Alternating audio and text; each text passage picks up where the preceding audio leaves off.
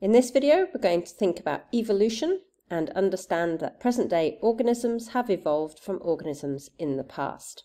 We will define evolution, we will explain how fossils provide evidence for evolution, how we can use anatomical evidence to explain evolution, and biogeographical evidence for evolution.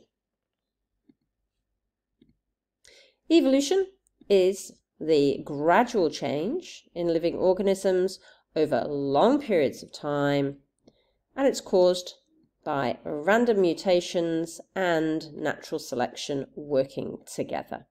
Uh, we've got a picture over here on the right of a fossil um, called an ammonite, and when you look at the fossil evidence, you see a gradual change from simple through to more complex over long periods of time. So there are fossil evidence, that's one piece of evidence we're going to look at, um, comparing the anatomy. So if we think about vertebrates, things with backbones, we all have similar bone structures and they've evolved for different functions. Biogeography is the distribution of living things, showing that they evolved from a common ancestor in one place and then they spread out from that spot. And there are two pieces of evidence here which we will consider in another video, and that is natural selection in action um, of small observable changes and looking at genetic analysis. So fossils. Fossil is a rock um, and it's when an organism or a part of an organism has been mineralized, so turned into rock, and that preserves it. Um, it could also be a trace of the living organism, for example, um, a footprint or some feces. Uh, we can work out how old a fossil is by either comparing it to the rock layers around it, and that's called relative dating, or we can look at the radioactive elements in the fossil or in the rock, and that's um,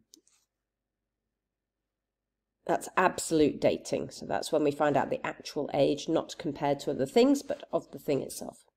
And as we saw with the ammonite fossil, older fossils tend to be simpler than more recent fossils of the same thing.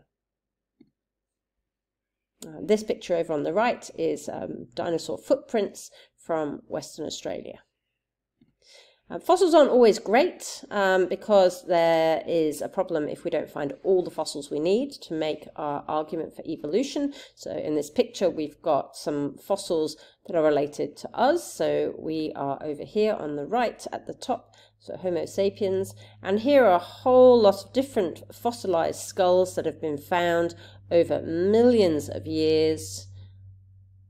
And it's it's useful and we can start drawing some conclusions, but there are always gaps in the fossil record because we don't find everything fossilized that we need to find to um, back up any theories. So there are some limitations with just using one piece of evidence for arguing about evolution. That's why we look at more than one type of evidence.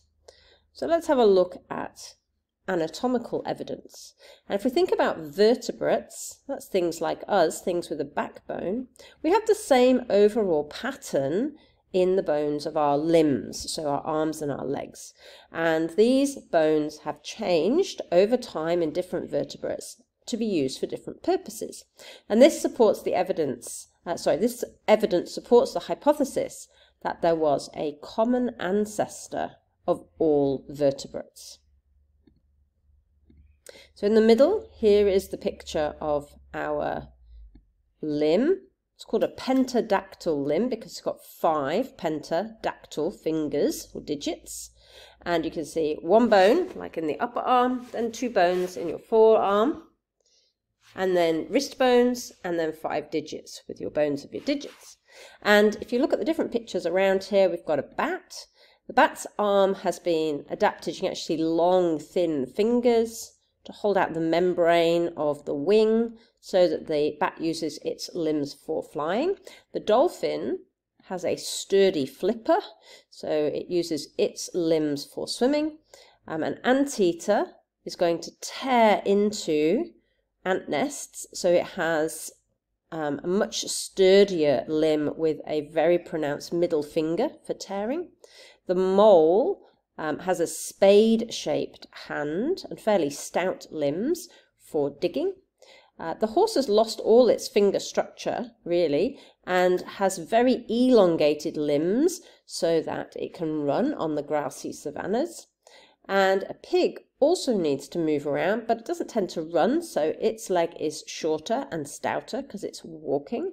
And a monkey has a very um, human-like hand, actually, because it uses its hand for um, grasping and manipulating food in a similar way that we do. So same underlying bone structure, but but the actual function and the pattern of the, oh sorry, the length of the different bones is different and the ratio of the different lengths is different depending on what the animal um, has evolved to use their limb for.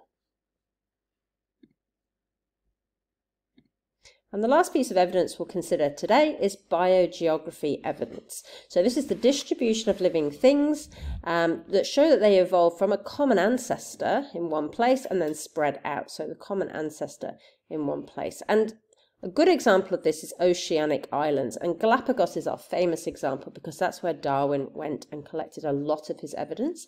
And the Galapagos Islands here, they are off the coast of Ecuador and they're quite a long way off the coast. And Darwin came up with his ideas based on the based on the thought that the original animals on the Galapagos must have come from the mainland, but once they're separated from the mainland, there are different changes that are taking place in, on the islands compared to the mainland.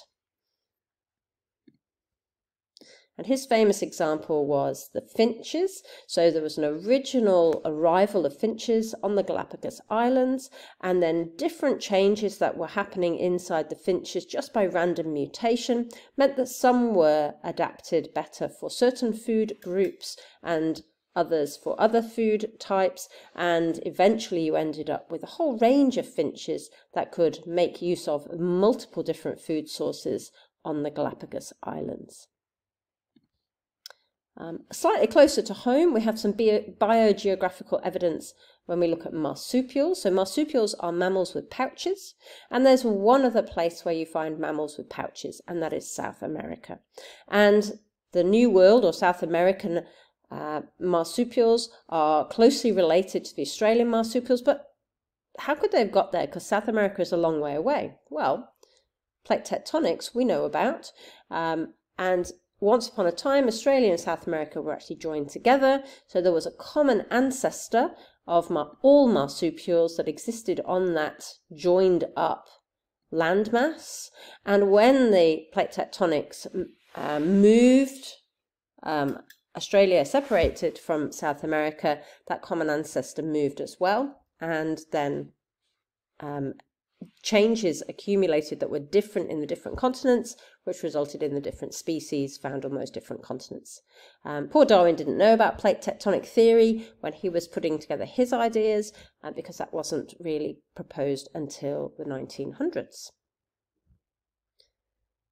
So there we have three different uh, pieces of evidence uh, for evolution.